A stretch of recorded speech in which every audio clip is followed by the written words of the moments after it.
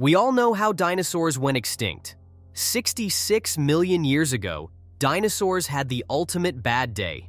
With a devastating asteroid impact, a reign that had lasted 180 million years was abruptly ended.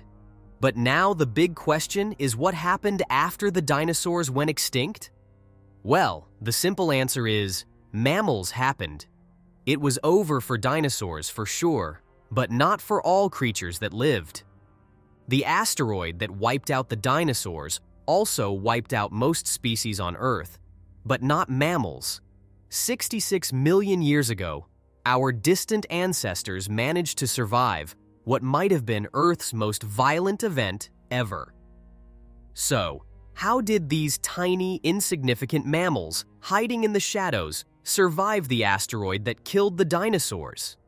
Imagine a small, furry animal darting through the darkness, ash, and deadly heat left behind by the worst day in Earth's history. It rummages through the wreckage, finds an insect to eat, and quickly returns to its shelter. All around are the bodies of dead and dying dinosaurs that have terrorized mammals for ages. This was the scene in the weeks and months after a six mile wide asteroid hit. The coast of what is now Mexico, with the force of over a billion nuclear bombs, spectacularly ending the Cretaceous period. As the Paleocene era began, forests were burning, tsunamis were crashing along coasts, and enormous amounts of vaporized rock, ash, and dust were rising miles into the atmosphere. But the world wasn't completely devoid of life. Among the survivors was one of the earliest known primates, Purgatorius, which looked like a mix between a shrew and a tiny squirrel. Even though their numbers surely dwindled during this global catastrophe, the species managed to survive. This was the reality for early mammals right after the asteroid struck, wiping out three quarters of Earth's species. Only the Great Dying, 252 million years ago, was deadlier, killing 95% of ocean life and 70% of land species.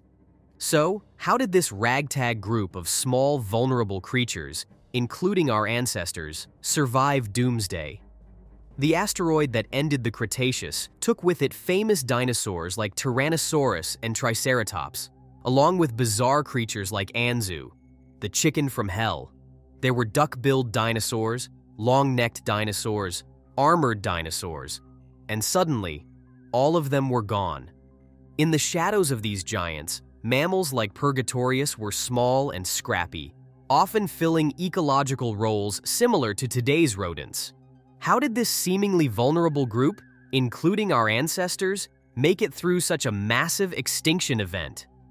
Steve Brusatte, author of The Rise and Reign of the Mammals, and his colleagues at the University of Edinburgh are working to unravel this mystery.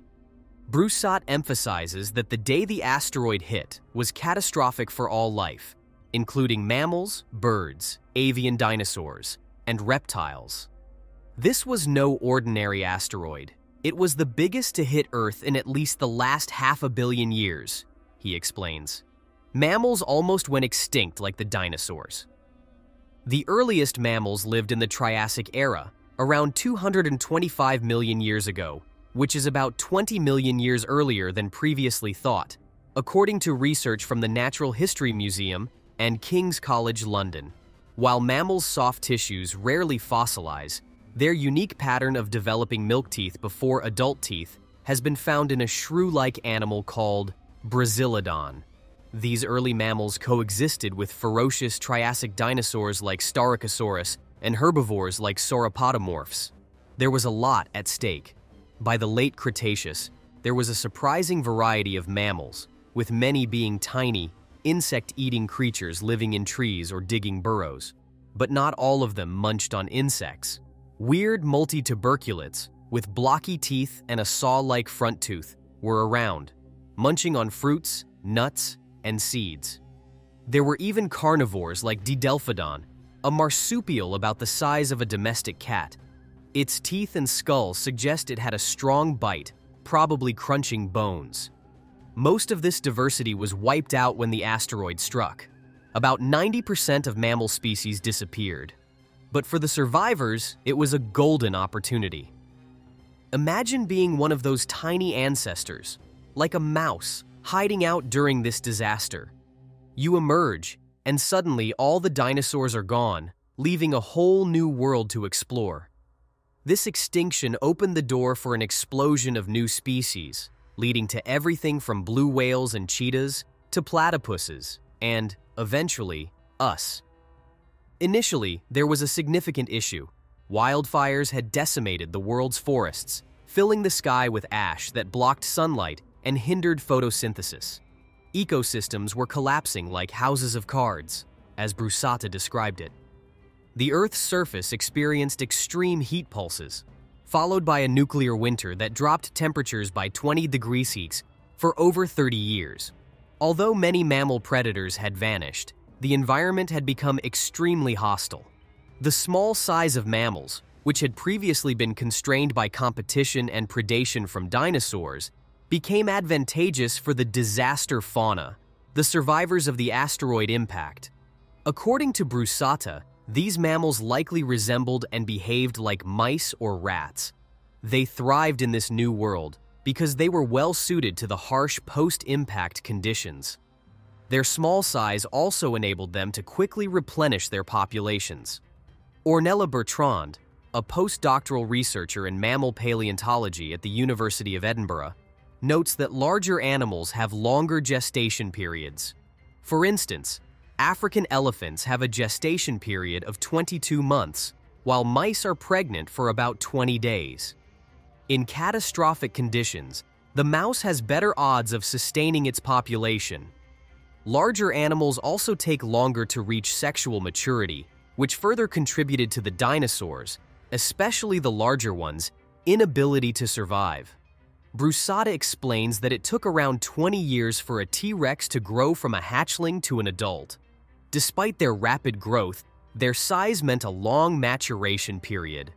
Another insight into how mammals survived the asteroid's aftermath comes from their unique body shapes in the Paleocene and beyond.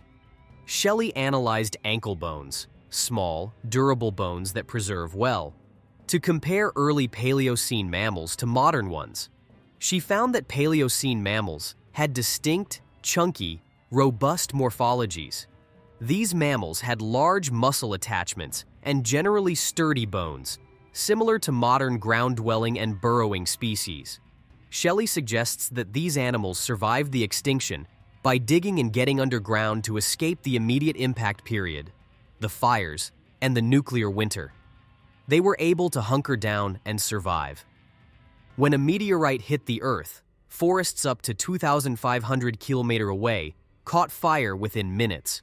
According to research from the University of Aberdeen, Fossilized tree bark suggests the fires were caused by a massive fireball or molten rock falling back to Earth after the impact. Huge tsunamis quickly put out many of these fires along the coastlines. Survivors of this event were often stocky, even those who lived in trees. If mammals had adapted to living underground by burrowing or using other animals' shelters, it would have affected their agility. With forests gone, tree-dwelling animals lost their habitat, leading to fewer agile creatures. Bertrand plans to study the inner ear bones of mammals from this time forward to see if they adapted to an underground lifestyle. The inner ear is crucial for balance, so its structure could reveal if these animals needed agility. However, Bertrand notes that bones alone might not fully show an animal's movement capabilities as gymnasts with the same skeletal structure can perform feats she cannot. The asteroid wiped out most plants, the foundation of many food chains. Mammals with adaptable diets survived better than those with specialized ones. For instance, the Didelphodon, a carnivorous marsupial, lost its niche due to its specialized diet. Small animals that could change their diets and lifestyles had higher survival chances. Seed eaters, including birds with beaks and seed-eating mammals, thrived as seeds were abundant. These seeds supported disaster fauna and helped re-establish forests after the nuclear winter. In the Paleocene, ecosystems recovered and mammals diversified quickly, though their brain sizes initially lagged behind body sizes. large brains required significant energy, while getting large and strong was advantageous. For example, the herbivore Ectoconus adapted rapidly, reaching about 100 kilos within a few hundred thousand years after the extinction. Larger herbivores led to larger carnivores like Taeniodonts, which were adapted for digging with robust bodies and massive teeth. Well, that's it. If you enjoyed diving into the aftermath of the dinosaur extinction and the rise of early mammals, give us a thumbs up and subscribe for more. What do you find most fascinating about how mammals survived and thrived when dinosaurs went extinct? Let me know in the comments below. Don't forget to hit the bell icon so you stay updated on our latest videos. Thanks for watching. See ya.